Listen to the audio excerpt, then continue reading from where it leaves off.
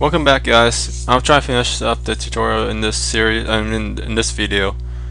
So the next thing we need to do is we need to work on the instant messaging part which is whenever the user click on the uh, check on the checkbox we want to have the option where you can type here and then it'll instantly display on the other end. So where should we start here? So so let's do this. So whenever the user click on the uh, uh, the write text box, whenever they press a key, we want to trigger an event under here. There's a lot of events uh, that we can use, but the one we're looking for is whenever the key is pressed. So search for key press event. So make sure you highlight the uh, write text box first, okay? And it'll show up under the events tab. Double click on that and it'll generate the event handler for you. So let's start writing the code.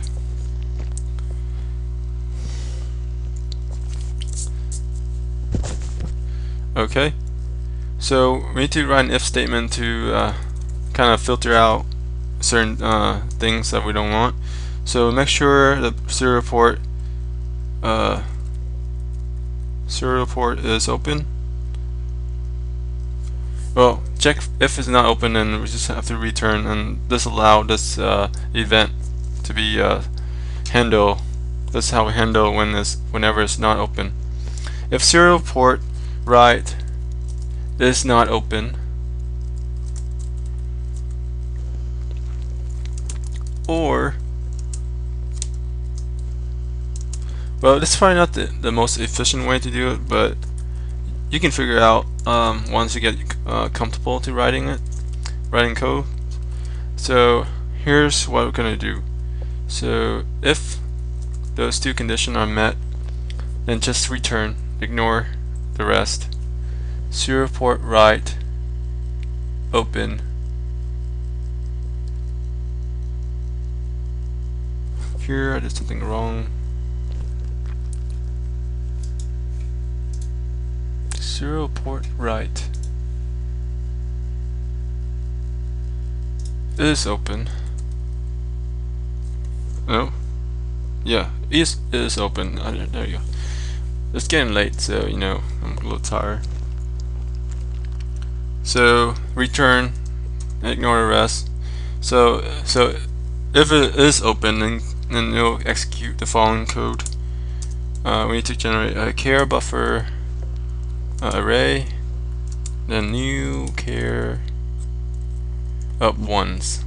So it's going to initiate a buffer that has the initial values of ones. Okay.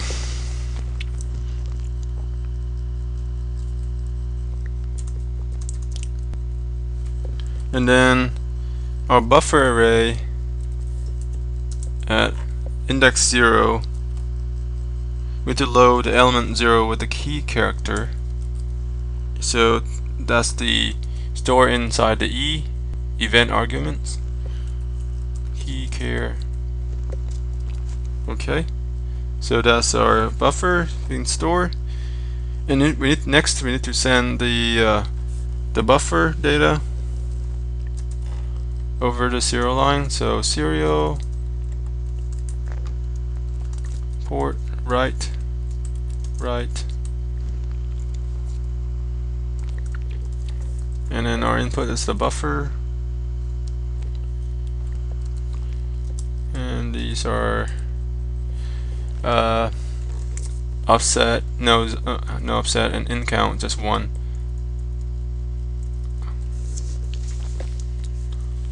So our array is just one. There's only one element in our array. Okay, so I need to do the uh, semicolon to close that off. And I think that's it. Okay, so let's let's uh, review what, what's going on here. So the first thing, whenever someone type in this side this box, it will trigger an event handler, and it'll go here. And then if the serial port is not open or the instant messaging option is not checked, then just ignore the following, the rest of this. So it's going to return back to the code, and that's going to create some delay if you can actually feel the lag a little bit. So that's what I'm saying why this is not the most efficient way to do it. And then this part just initialize the buffer array so you can store the character uh, from from the key. Uh, whenever someone type on the keyboard, it will store inside this buffer, and we use this buffer as an input to send over the serial line using the serial port write write method.